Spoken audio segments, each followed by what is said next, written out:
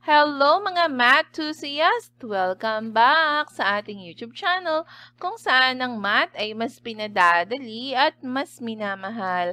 At andito na naman si Teacher Maria, ang inyong math buddy para tulungan kayo sa mga problema nyo sa math.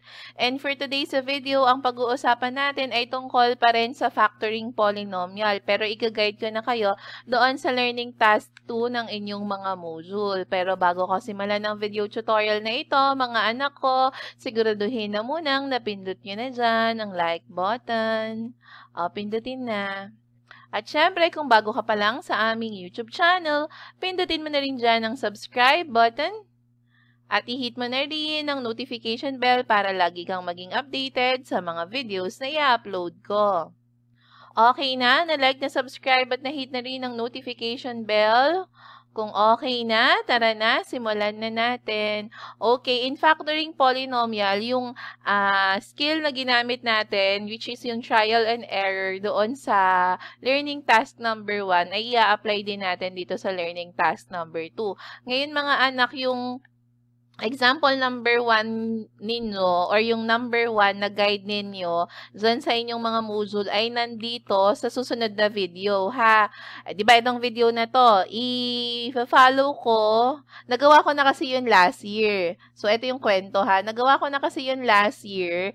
Kaya, ayoko na siyang ulitin. Okay? Hindi ko kasi na pagsunod-sunod yung uh, numbers nung guide ninyo. Kaya ngayon, dahil siya ay nagawa ko na last year, naka-separate na lang siya. So, yung gagawan ko na lang ng guide ay yung number 2 at yung number 3. Naintindihan nyo ba? So, after nitong mapanood or after nyo itong mapanood, tapos sasabihin nyo, mamula pong guide yung number 1. Meron ha. After nitong video na to, yun naman yung i-click nyo. Isusunod ko siya dun sa playlist para hindi na kayo mahirapan pa. Okay, dahil dyan, marami nang sinabi si Teacher Maria, let's have this one. So, kukunin natin yung mga factors nito.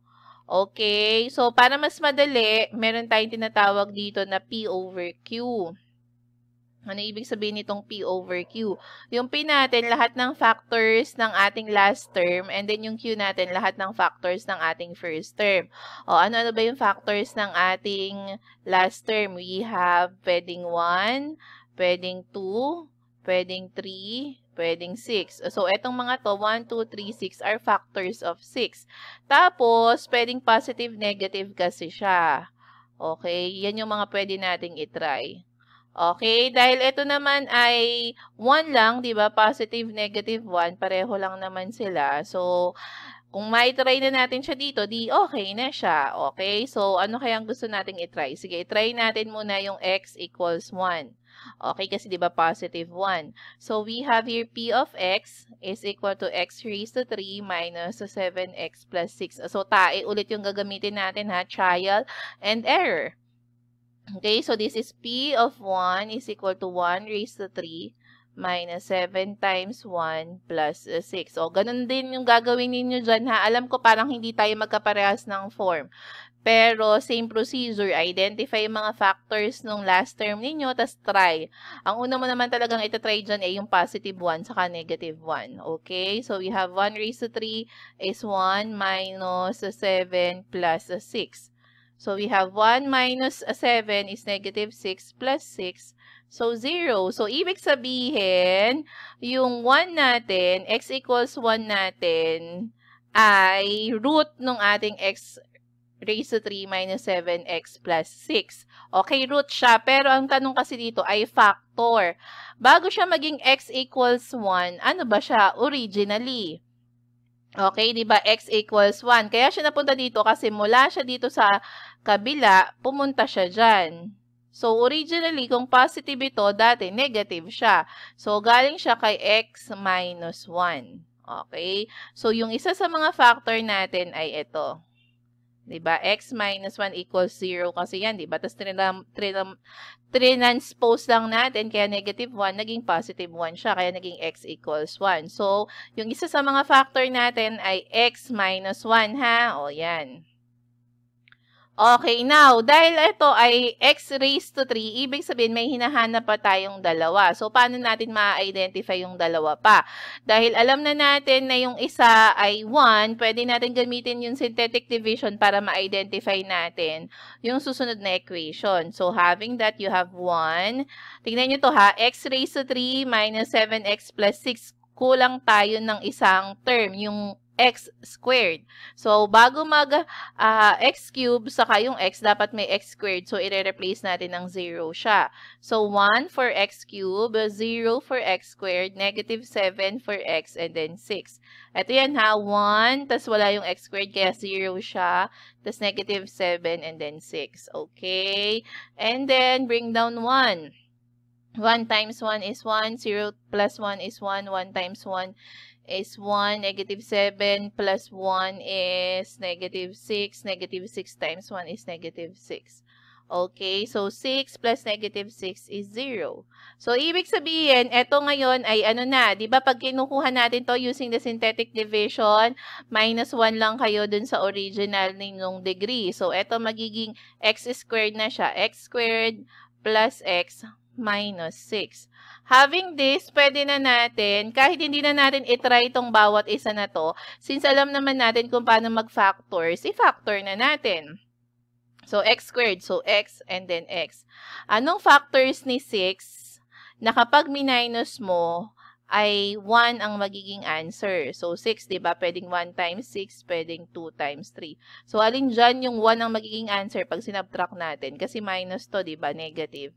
So, eto siya. So, we have 3 and then 2. Okay, dahil negative to, alam natin magkaiba yung sign. Pero tingnan nyo yung middle term. Dahil yung middle term ay positive, ibig sabihin yung mataas na number, siya yung positive.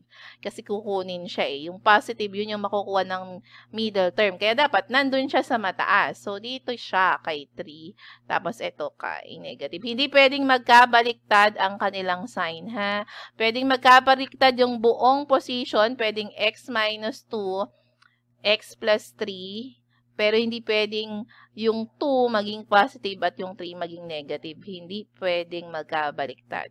So, meron na ngayon tayong x plus 3 and then x minus 2. So, therefore, the factors are ato, x minus 1, x plus 3, and then x minus 2. Yan na siya. Okay, now let's move to this one. x raised to 3 plus 3x squared plus 3x plus 1. O, PQ tayo. okay? Sorry mga anak. Masama yung pakiramdam ko talaga. Pinipilit ko lang. Okay, so we have here 1. So, uh, iisa lang naman ng factor niyan, kundi 1. So, positive, negative 1. Ganon din dito, positive, negative 1. Okay, so let's try 1. Okay? So, x equals 1. Yun muna itry natin. So, p of x is equal to x raised to 3 plus 3x squared plus 3x plus 1. So, p of 1 is equal to 1 raised to 3 plus 3 times 1 raised to 2 plus 3 times 1 plus 1. Okay, 1 raised to 3 is 1 plus 3 times 1 plus 3 plus 1. Okay? Hala, parang hindi naman ito magsi-0. 1 plus 3 plus 3 plus 1. So, this is 1 plus 3, 4 plus 3, 7 plus 1, 8. So, hindi ito. Hindi siya. So, let's try negative 1. So, P of negative 1 naman. So, negative 1 raised to 3 plus 3 times negative 1 squared plus 3 times negative 1 plus 1. Okay, so negative 1 plus 3, kasi negative 1 squared is 1 times 3 is 3. Minus 3, kasi negative times positive is negative, plus 1. Okay, so we will have here negative 1 plus 3 is 2 minus 3 plus 1. Okay, so 2 minus 3 is negative 1 plus 1 equals 0. So, tama si x equals negative 1. Pero bago siya maging negative 1, di ba, x plus 1 muna siya. x plus 1 equals 0 kasi yan, di ba? Tapos nilipat mo, kaya siya naging negative 1. So, isa sa factor natin ay x plus 1. Okay, and then we can do synthetic division para malaman natin yung susunod na uh, equation natin. So, we have there negative 1. Kompleto ba to? Kompleto. So, 1, 3, 3, 1. Okay. Oh, let's try. So, bring down 1. 1 times negative 1 is negative 1. 3 times, ah no, 3 plus negative 1 is 2. 2 times negative 1 is negative 2. 3 plus negative 2 is 1. 1 times negative 1 is negative 1. 1 plus negative 1 is 0. So, ibig sabihin, kung x cubed to, yung sisunod natin equation ay squared na, o expression ay squared na. So, we have here x squared plus 2x plus 1. Okay, kesa naman, i-try pa natin yung iba dyan, pwede na nating i-factor to dito. So, ano ngayon ang factors ni 1 na kapag pinag-add mo, ay ito ang magiging answer. Di, wala namang ibang factor yung 1, kundi 1 lang, 'di ba? So 1 and 1 dahil puro positive 'yan, positive, positive. So ibig sabihin ito ay magiging x plus 1 and then x plus 1. So therefore the factors are x plus 1, x plus 1, x plus 1. Okay? So, ganun lang. Mga anak ko, yung isa, yung number 1, kasunod nitong video na ito. Ha? Ngayon mga anak ko, kung nagustuhan mo ang video na ito dahil natulungan kita, please i-comment yan sa ating comment section. Ha? Mga anak, please help me up this video para naman hindi sayang yung hirap ni Teacher Marie ang magdadaldal dito kahit inuubo. Kasi maraming matututo. Okay? Excuse me. At syempre, i-follow nyo na rin ako sa Facebook page ko. Paki-visit naman mga anak. Sige na, sige na. Love Math TV, follow na ha. I-follow nyo na si Teacher Maria. At syempre, don't forget, laging tandaan, let's spread the love of math. Thank you and bye!